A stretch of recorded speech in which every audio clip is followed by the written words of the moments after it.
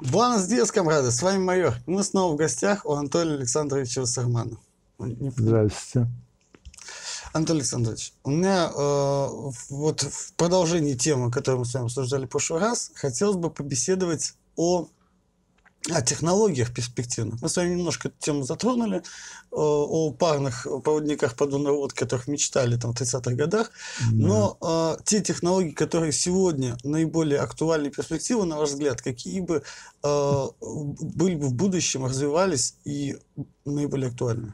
Ну, к сожалению, никто не может точно предсказать, какие именно технологии разовьются больше. Дело в том, что, как правило, на одну и ту же, что называется, экологическую нишу претендуют несколько разных вариантов, и никто их стараются разбивать все, и никто не может точно угадать, какой из них, что называется, выстрелит первым. Скажем, на роль сверхъемкого аккумулятора сейчас претендуют, во-первых, дальнейшее развитие химических источников энергии.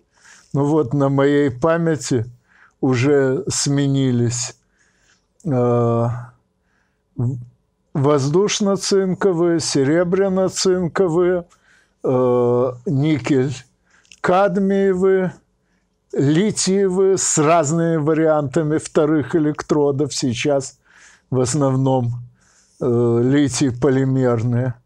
Э, плюс к этому э, сверхъемкие конденсаторы, потому что при той толщине слоев, которая сейчас достигнута в литиевых э, аккумуляторах, есть шансы сделать конденсаторы с сопоставимой емкостью ну, грубо говоря, чем тоньше слои, тем больше можно сделать суммарную емкость хоть батареи, хоть конденсатора. Наконец, высокотемпературные сверхпроводники, когда они пойдут, можно будет использовать не только э, в качестве линий электропередачи, но и в качестве аккумуляторов. Катушка с током, намотанная из сверхпроводника может э, хранить э, энергию, запасенную в магнитном поле вокруг катушки, тоже неопределенно долго. Поэтому я не могу точно сказать, что перспективнее, но могу сказать, что сейчас представляется перспективным. Например, для передачи энергии это те же сверхпроводники высокотемпературные. Надо сказать, что было несколько очень резких скачков по допустимой температуре. Долгое время сверх, эффект сверхпроводимости наблюдался только при охлаждении э, некоторых видов проводников жидким гелием – Потом появились довольно сложные э, сплавы, работающие даже при охлаждении жидким водородом. Э, сейчас уже достигнута э, сверхпроводимость при охлаждении жидким азотом. Ну, для справки, жидкий гелий – это 4 Кельвина, жидкий водород, если не ошибаюсь, 21 Кельвин, а жидкий азот – это уже что-то около 90 Кельвинов. Причем э, каждый шаг от абсолютного нуля э, на Кельвин вверх снижает энергозатраты на охлаждение – Э, ну, точное число не помню, но где-то э, на несколько процентов. То есть это колоссальный выигрыш, но сейчас есть надежда, что удастся создать сверхпроводники, э, работающие при охлаждении твердой углекислотой. А это вообще настолько э, доступ, настолько доступная температура, что такие сверхпроводники можно будет употреблять чуть ли не в бытовой аппаратуре. Вот это очень перспективно. Я хотел сделать маленькую ремарочку. Во-первых, Да. азот – это то, что находится в воздухе, его количество производства и охлаждения Ну, в разы проще, чем Де- Нет, дело не в том, что он находится в воздухе. Дело именно в том, что э, азот кипит примерно при 90 кельвинах, а достичь такой температуры, э, чтобы достичь такой температуры, требуется в несколько раз меньше энергии, чем для охлаждения жидким водородом, и в несколько сот раз меньше энергии, чем для охлаждения гелием. То есть тут проблема не в доступности самого газа. Гели сейчас научились извлекать из попутного газа нефтяных месторождений в очень больших количествах. Дело именно в энергии, требуемой для сжижения. Вот. А охлаждение углеки... твердой углекислотой это вообще доступно буквально в бытовых условиях. Кстати, во времена моего детства э, мороженое э, на уличных лотках для продажи охлаждали именно твердой углекислотой. Сухой лед Да, называется. ее набрасывали в ящики. Сейчас, э, как правило, охлаждают э, с помощью э, отдельных холодильных установок, установленных прямо в лотках, но это, надо сказать, ощутимо дороже сухого льда, хотя в некоторых отношениях удобнее. Вот, но это так, к слову, пришлось. А вообще самые перспективные технологии из тех, что рассматриваются сейчас, э, так или иначе связаны с вычислительной техникой и программированием. Я, как программист с очень большим стажем, э, помню, что на протяжении нескольких десятилетий э, ресурсы компьютеров были настолько ограничены, что приходилось вот так вот изворачиваться, чтобы решить какую-нибудь серьезную практическую задачу.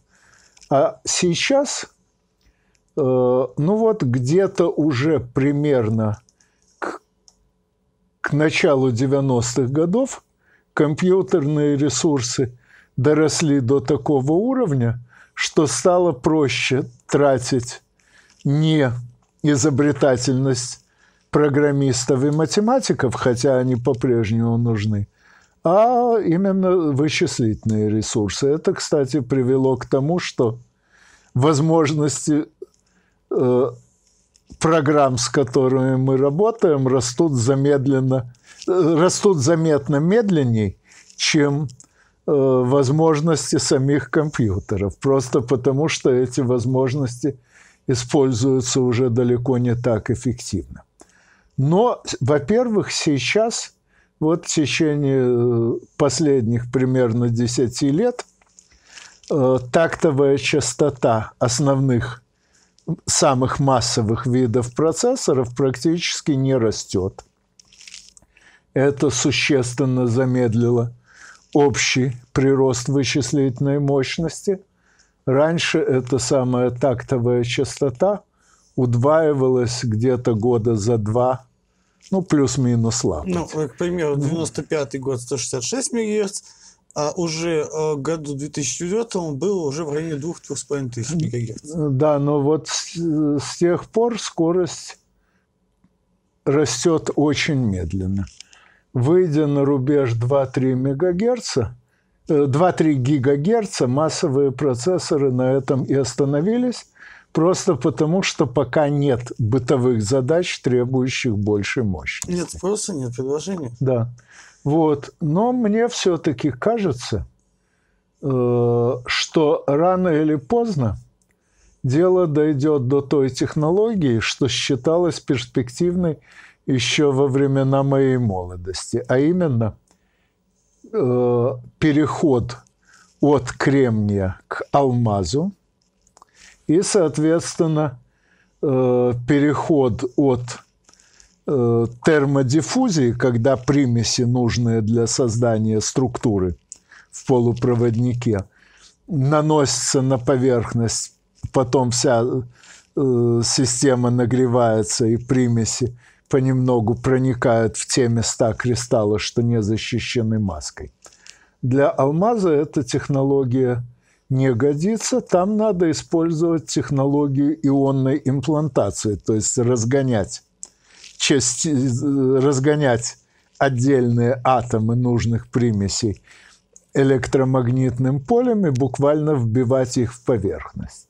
Эта технология, в принципе, обещает сокращение размера элемента до долей нанометра, но сейчас освоено э, раз, характерные размеры структур э, где-то 5-7 нанометров, mm-hmm. а эта технология позволяет освоить размер сотые доли нанометра, но меньше уже невозможно физически, потому что это значит, это что надо работать что соседние ат, э, атомы должны чередоваться по-разному. И э, обещает э, под, соответствующий подъем тактовой частоты где-то до сотен гигагерц. Э,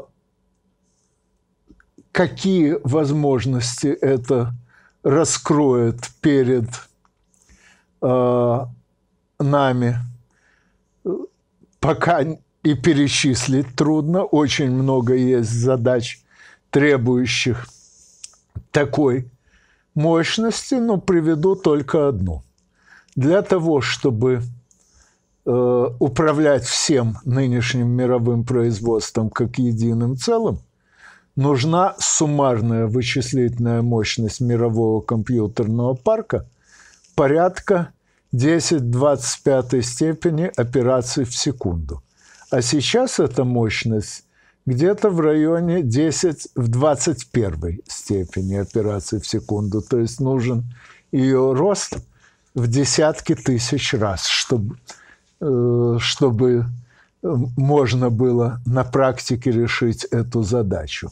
Я немножко хочу вставить ремарочку касательно вот тех технологий, да, казалось бы, что там у компьютера много ли нам дадут. На самом деле, если вы за последние 30 лет развития компьютерных технологий, чипсетов, сотовой связи, это изменило нашу жизнь кардинально. Это изменило быт, э, сознание и все остальное. Это да. Уже одна возможность оставаться на связи, куда бы ты ни поехал, это радикально изменило организацию очень многих видов работы.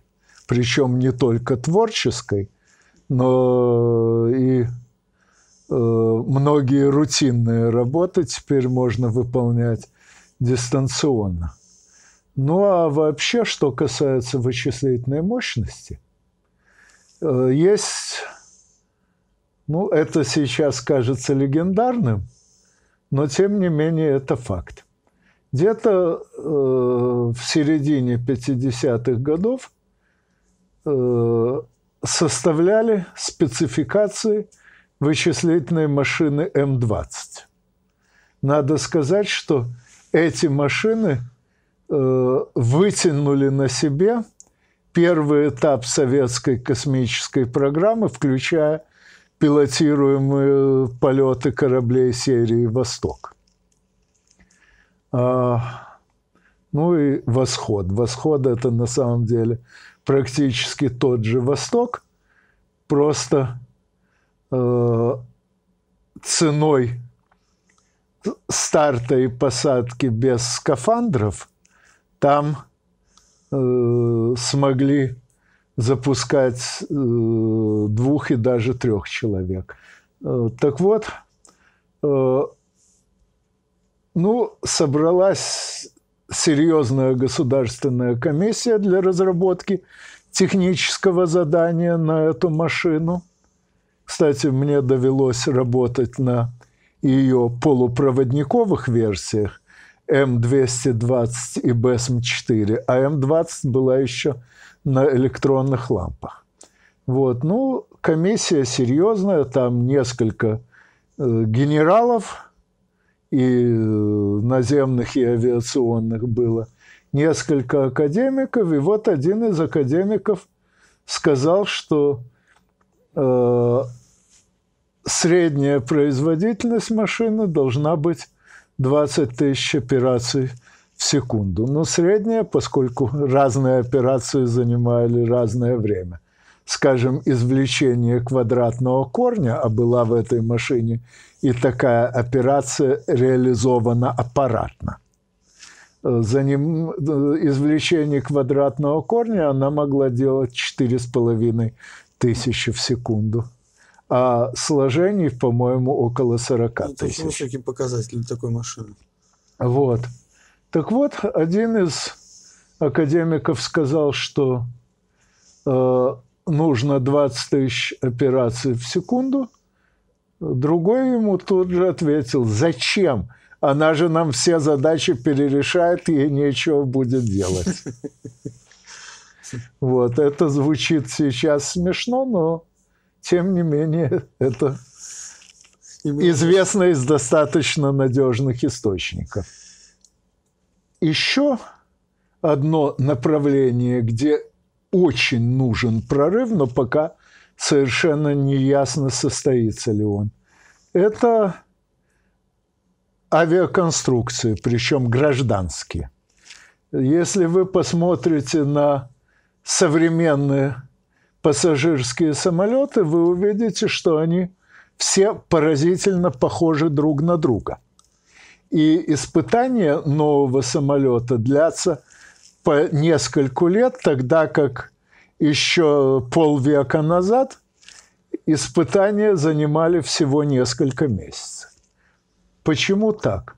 В основном потому, что в рамках э, имеющихся сейчас технологий выжато уже практически все возможное.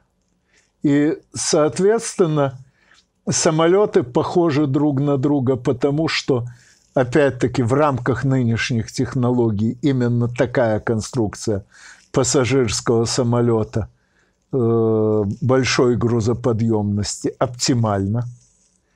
Э, причем некоторые решения там продиктованы – даже не столько аэродинамикой, сколько удобством наземного обслуживания.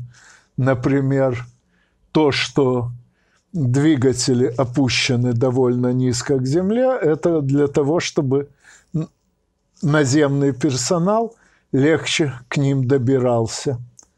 Э, по-хорошему стоило бы их разместить подальше от земли – скажем, в хвосте, как было на многих самолетах, скажем, французская «Каравелла», наши Ту-134, Ту-154, Ю-62. Э, но это приводит к тому, что время наземного обслуживания растет, а самолет зарабатывает деньги только в воздухе. На земле он их только тратит. Вот. Э, так вот, э, и испытания продолжаются так долго, потому что стараются уже в ходе испытаний что-то нащупать и выжать дополнительно. Э, и вот совершенно очевидно, что требуется какие-то качественные скачки. И в части материала конструкции, кстати, в этом смысле совершенно замечателен.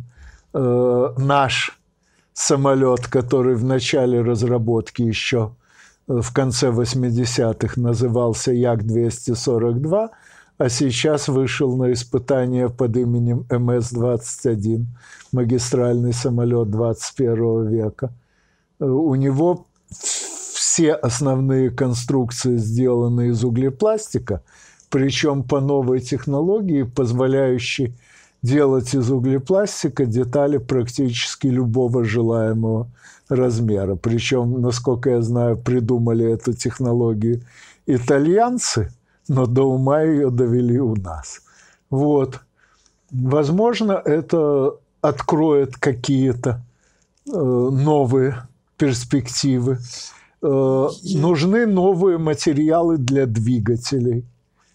Э, и это не просто дополнительный выигрыш в деньгах, это прежде всего возможность расширить охват территорий.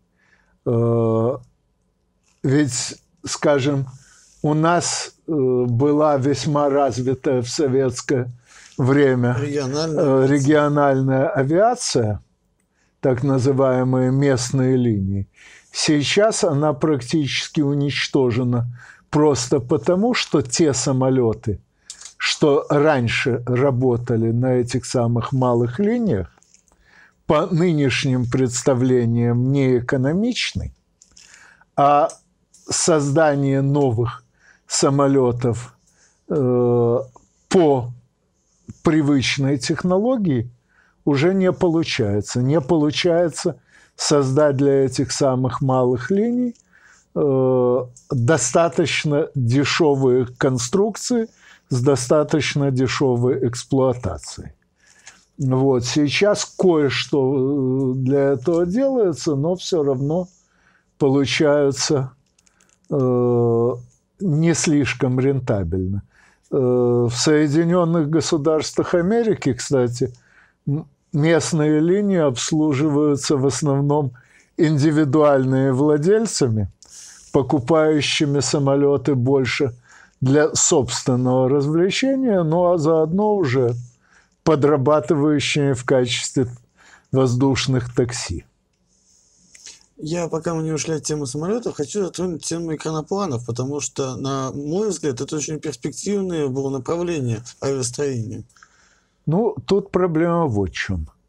Экранопланы очень э, удачно вписались э, в одну из экологических ниш военно-морского флота, но сейчас этой ниши практически нет, потому что развитие – Э, морских средств радиолокации и морских же средств обороны от э, быстрых низколетящих целей привело к тому, что экраноплан невозможно использовать в качестве ударного средства. Э, ну, сейчас научились даже крылатые ракеты сбивать в паре десятков метров над землей, по крайней мере, дозвуковые крылатые ракеты, и, соответственно, над морем. А, а крупные десантные операции на неохраняемый берег у нас, по крайней мере, в ближайшие пару десятилетий не предвидится. Нет такой потребности. А в качестве транспортов э, конечно, намного грузоподъемнее классических самолетов и намного быстрее классических кораблей, но сейчас логистика и морская, и авиационная развилась настолько, что э, экологическая ниша для экранопланов содержит лишь очень небольшое число перспективных грузов. Ну а для пассажирских перевозок экраноплан пока считается слишком рискованным. Словом, эта технология э, ждет, пока для нее появятся какие-то новые э, Э, новые виды востребованности. Ну, э, исследована она достаточно подробно.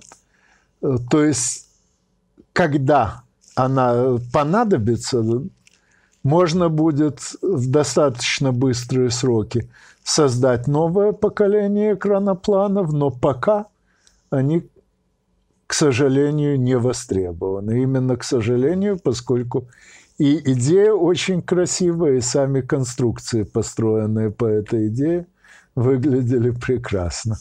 Да. Но... Кстати, один экраноплан э, сейчас стоит в Москве э, на берегу канала имени Москвы э, в Тушине.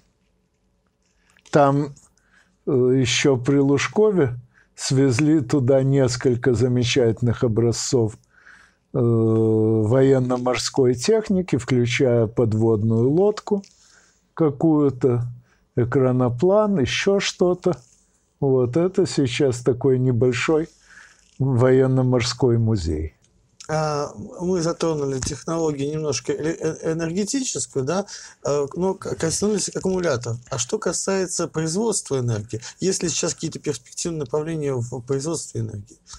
Ну, э, самое перспективное в обозримом будущем направлении – это то, что предложил еще на рубеже тысячелетий мой партнер по многим интересным работам – Нурали Нурисламович Латыпов. Ну, поскольку мы с ним оба физики, только он радиофизик, я теплофизик, я помогал ему прорабатывать э, эту идею.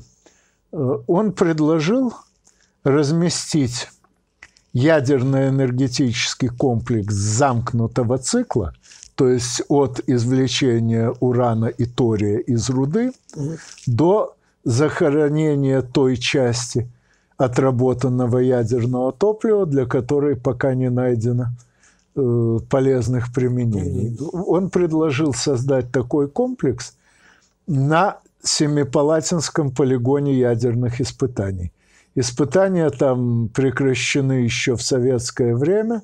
Сейчас полигон законсервирован, но как его э, других использований для него просто не придумано. Э, геологические и географические условия полигона позволяют развернуть на нем э, такой комплекс, включающий реакторы-размножители, то есть реакторы, способные превращать некоторые неделящиеся изотопы урана и тория в делящиеся элементы – Э, ну, для справки, при нынешнем энергопотреблении запасов урана-235 в мире хватит примерно на лет на 100, ну, если покрывать только им все энергопотребление. А если использовать еще и уран-238, то имеющихся на Земле запасов хватит при нынешнем энергопотреблении на 15-20 тысячелетий. Ну, то есть несравненно больше. Да. Вот. Но сейчас такие реакторы используют лишь ограниченно по ряду политических и военных соображений, которые на этом полигоне не будут иметь места. Там грубо говоря, никто не сможет оттуда утащить плутоний. Вот. Э, ну, естественно, э, проект большой, сложный, он потребует и коллективных научных наработок. Например, немцам придется на основе имеющихся у них наработок по высокотемпературным э, сверхпроводникам сделать линии электропередачи э, на весь евразийский материк. Э, нам придется разработать новые технологии производства реакторов, чтобы выпускать их не по одному в 2-3 года, а хотя бы по десятку в год э, и так далее. Финансировать такой проект сможет, ну, разве что Китай. На этом полигоне хватит места для размещения э, суммарной мощности покрывающий все потребности Евразии в электроэнергии, предвидимые на несколько веков вперед. А, давайте вот для примера, да, а сколько потребляется не вспомню. Я сейчас не Хорошо. помню точных чисел, э, но если кого интересуют подробности, в нашей с Латыповым книге 4,51 стратегемы для Путина есть э, стратегема номер один – это как раз описание этого полигона из всех связанных с ним проблем и их возможных решений. Вот. Э, ничего лучшего пока, к сожалению, в рамках нынешних технологий не предвидится. Ну, очень многие говорят о так называемой зеленой энергии, но, насколько мне известно, при нынешних технологиях производства э, изготовление солнечной батареи требует больше энергии, чем она произведет за весь срок службы. Я уже не говорю крайне вредных отходах этого производства. А что касается электрохолодного синтеза? Чего? Электрохолодного синтеза, то есть... А, нет, к сожалению, термоядерный холодный синтез э, пока это не оправдавшаяся надежда. Я знаю, что было несколько экспериментаторов вроде бы, сумевших добиться этого самого холодного синтеза, но повторить их результаты никому не удалось, а это значит, что, скорее всего, в их экспериментах методические ошибки. То есть либо э, какие-то особенности конструкции, на которые они сами не обратили внимания и не описали, вызвали генерацию нейтронов в качестве самостоятельного побочного эффекта, либо э, используемые ими материалы содержали примеси, э, способные генерировать поток нейтронов без реального синтеза. Что там было, пока, к сожалению, неизвестно, но вот несколько раз публиковались описания экспериментальных установок, где достигался э, холодный термоядерный синтез, и никому не удавалось по этим описаниям воспроизвести результат. Ну, я бы еще понял, если бы э, изобретатели что-то скрывали в расчете на организацию собственного производства. Ну, но производства пока нет, хотя времени для его организации было более чем достаточно, да и деньги за него предлагались нешуточные. Так что, боюсь, это... Пока что бесперспективно направление. Да. У нас в истории человечества было несколько громадных скачков. Паровая машина дала очень сильный скачок, да, э, связь э, дала очень большой скачок к развитию всего человечества, да. И если мы будем смотреть, то это, как правило, обусловлено тем, что, во-первых, средства доставки меняются, там товаров, людей и так далее, и средства сообщения. Какое в ближайшее время возможно подобное открытие, которое перевернет или даст толчок к развитию человечества? Не знаю.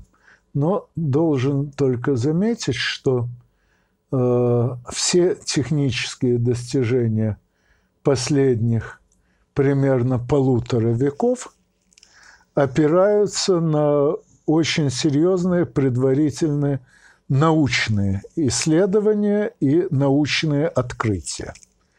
Э, ну, скажем, все развитие электроэнергетики – так или иначе опирается на э, то, что Майкл Джонович Фарадей в 1831 году обнаружил явление электромагнитной индукции, то есть обнаружил, что в проводнике, движущемся внутри магнитного поля, наводится электрическое напряжение.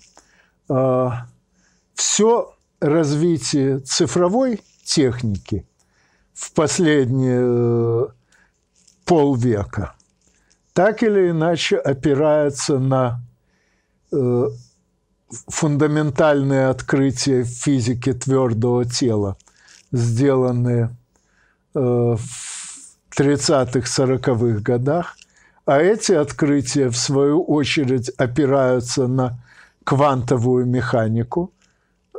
Ее разработка началась в 1900 году и закончилась примерно, ну, в 1927 были открыты все законы квантовой механики, и дальше шло только обсуждение физического смысла этих законов. Э, оно, кстати, до сих пор не прекратилось.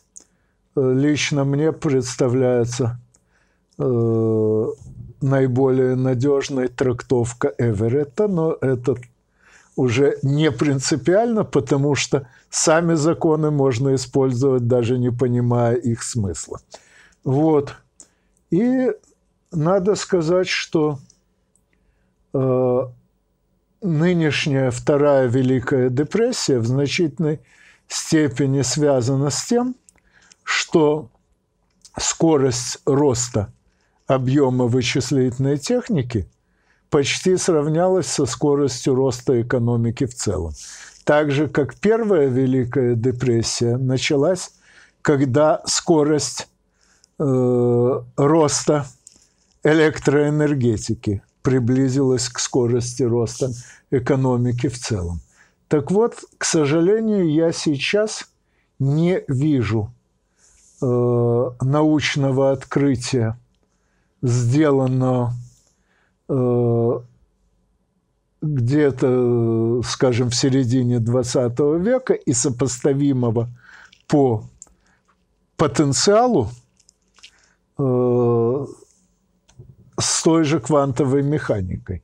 Поэтому я боюсь, что в ближайшие годы нам трудно ожидать каких-то прорывов.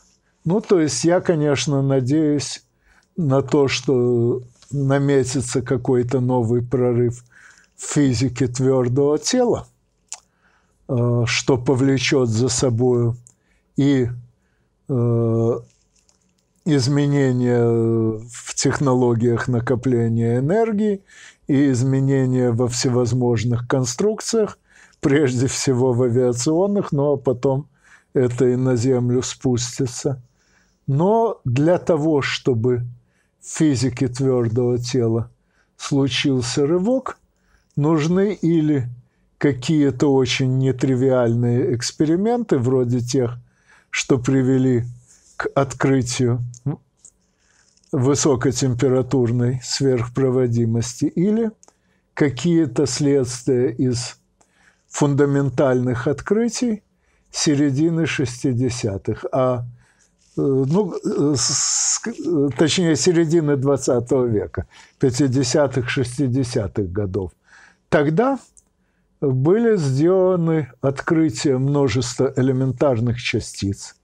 На их основе построена Э, новая теория элементарных частиц построена э, квантовая электродинамика э, и потом единая теория поля, охватившая электромагнитное и слабое взаимодействие. Вот. Но пока, к сожалению, не видно Э, выходов из вот этих открытий э, к практике, ну, к той же физике твердого тела хотя бы.